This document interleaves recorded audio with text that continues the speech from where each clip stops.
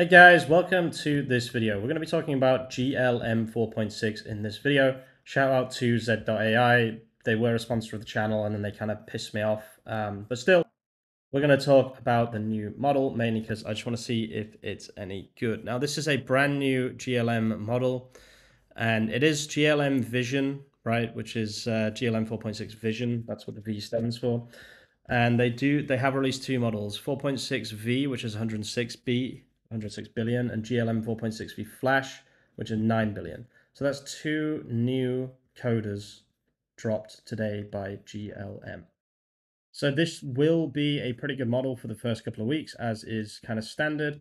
Looks like they've um, basically added a bunch of tools and tool use to the native um, API, which is pretty cool. So supports native multi-modality, enabling direct processing of documents containing visual elements.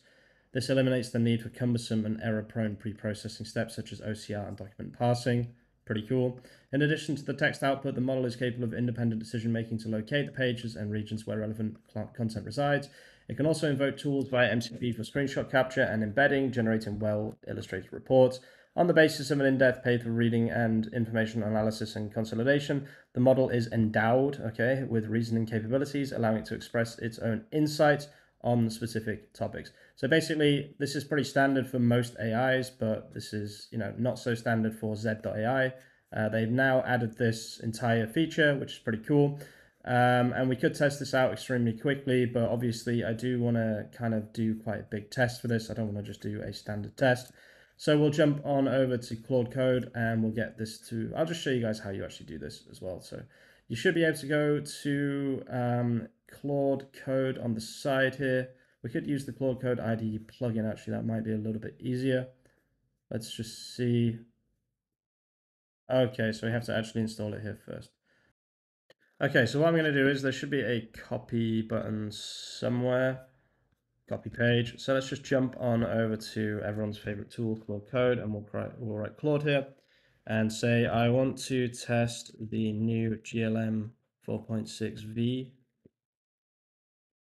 model. Please install it so I can test it on Claude Code. And then we'll just send that. Oops, just send that. There we go. That should just install everything. So it looks like we need to grab our API key as well. So we'll just grab that. There is a link, by the way, if you're interested in Z.AI uh, in the description of this video. Um, they were a sponsor of the channel. I'm pretty pissed off with them, to be honest with you. They sponsored the channel. They agreed to kind of a long-term collaboration and then cancelled it. Pretty standard for companies. Honestly, I really don't like sponsors, guys. I'm not going to lie. Um, I actually really, really, really hate sponsors. Um, but I mean, you know, some sponsors are great, don't get me wrong, but like a lot of the time people are just looking for affiliate deals and they just want to sponsor one video for like 300 bucks and then see how it goes. I'm not really into that, to be honest with you. I think it's quite like quite offensive, to be honest with you. Like, I don't know. I don't know. It's annoying, but anyway. So I'll just give it my API key here. I actually kind of don't want to even make this video because I'm advertising Z.AI uh, for free, and they're supposed to be a sponsor, and they let me down. But yeah, like I said, it is what it is. I make videos because I want to. So okay, so let's see if we can get Claude Code quickly to basically use this model. Looks like it's done a pretty good job there. And then what we want to do is we want to get one of my um, prompts or one of my GitHub setups that I'll be able to do a decent test with this model, and I'll let you know whether it's worth your time, basically, because that's what we do on the channel. So let's do, let's see, HiQShotter, directory builder system. Probably the directory builder system or the service website generator would be a good test. Let's do service website generator because Opus runs this for hours and hours. So let's see how this does, right? Okay, so we should be able to do mkdir um, glm 4.6v and then CD GLM 4.6V. There we go. Now, just to mention, guys, a lot of this stuff is available in the Skool community already. If I just go to the classroom here, and you can see cheap coding, cheap vibe coding with model agnostic like stuff. I already talked about GLM 4.6, as you can see here. Um, and yeah, I was just, I was already curious about these things. Kilo Code is another one that works really, really well. And I'm going to add a few more things to this. Um, but yeah, let's, uh, let's, let's do this. So the, there's a link to the Skool community in the description of this video, by the way, and also in the pinned comment. Skip permissions. So this needs dangerously skip permissions, just so that you know. So we'll just do that. Uh, we need to do git clone and then post this and then full stop. And then I need to do git checkout into this model. Just give me two seconds. I always forget what it's called. Um, should be here. So there it is. So get checked out. By the way, guys, this is a completely free um, repository. I'll leave a link to the repository in the description. There's an app generator here. There's a design agent, which does all your SEO for you. There's a directory builder system. And right now, the service website generator is the one that people are using the most. People absolutely love this system. Okay, so from here, we just need to run Claude quickly so that we can accept the MCP because there should be an MCP. There we go. Let's do slash MCP. Okay, post is there as well. That's fine. That doesn't matter. And then uh, there we go. Okay, so what do we need to give this? We need to give this our. So, what are, what are we? We are a plumber or a plumber in Athenry. So this is the way the system works, and then we need to give this. Um, we need to give this a Jina API key. So I'm just going to get a free Jina API key. Basically, just go to jina.ai and grab your key. This will always be a free key, and it will be able to build at least one website for you. Um, there we go. That should be everything it needs. Let's just see if this actually works, first of all. So this should be using GLM 4.6v. Let me just actually check that. Um,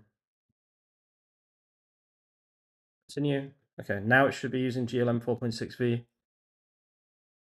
Okay, so we'll let that start running here and we'll just make sure that it's actually working.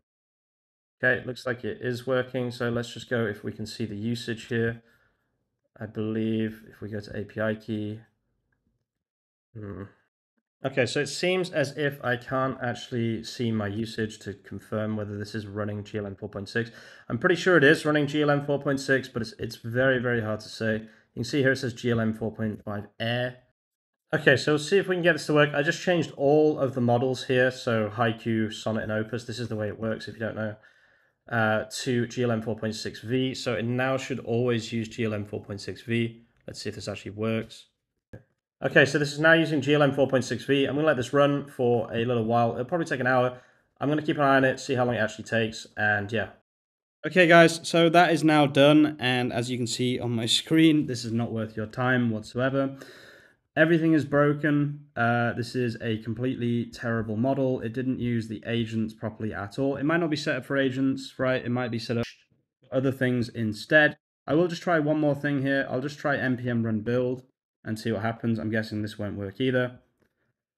Uh, yeah, it also didn't work. This is a complete nightmare, complete mess, and Haiku would have done a better job. Sonnet would have done an infinitely better job. And Opus absolutely smashes this and runs for an hour. So, yeah, all right, the memes about Opus 4.5 being nerfed, I agree, it has been nerfed, but it would still do a significantly better job than this.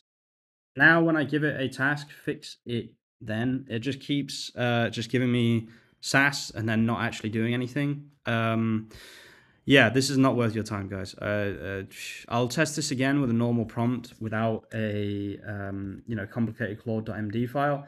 But I really would have expected this to be able to follow basic instructions. Uh, it seems like maybe it's not set up to use subagents just yet. Look, it keeps doing this. It's not even working anymore. Guys, I'm not going to lie. I wouldn't waste my time with this. I will test it again with another test later today. And if it does a decent job, you'll see another video. But if not, then just don't even bother. Thanks for watching, guys. If you're watching all the way to the end of the video, you're an absolute legend. I'll see you very, very soon with some more content. Peace out.